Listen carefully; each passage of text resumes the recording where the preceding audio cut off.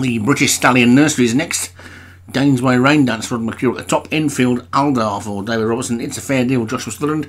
Alpha Baitim, Kevin Minan. Shadow Corn, Craig Allen. Dragon Size, Stu Gray. Grandest Saint, Darren Thompson. Tyrannos, Padraig Hogan. Feathered Flip, Martin M. Kakatia Nurse, Thomas Rogers. Stakeout, Adam Old. Is it Sarah or Sarah? Matt Cooper has also got Bad Attitude. Piece of Ash, Obi-Wan and ESPN for Satyam. They're all installed and ready to go. And away they go.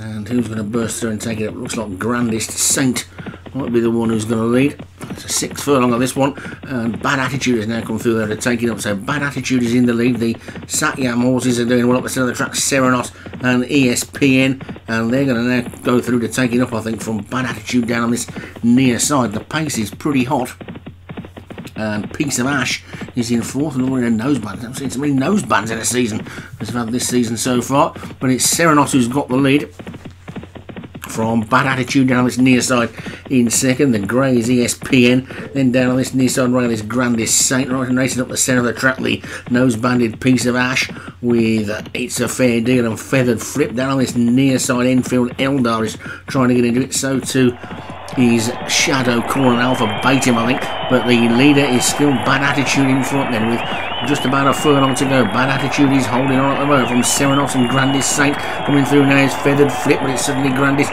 Saint then hits the front. Grandest Saint's in the lead. Feathered Flip from through in a second. Then comes Shadow Corn, Stakeout and Alpha Baitim, but they're not going to get to this Grandest Saint who takes it. Shadow Corn, Stakeout, Alpha Baitim, Feathered Flip after that. ESPN dropped right out the back. Darren Thompson takes it with Grandest Saint. A pretty comfortable winner. Took that one nicely. On to better things, I would think that one. Grandest Saint, the winner then for Darren Thompson. Shadow Corn for Craig Allen was second. Stakeout Ranamold was third. Feathered Flip for Martin was fourth. And Alpha Baitim for Kevin Minahan was fifth.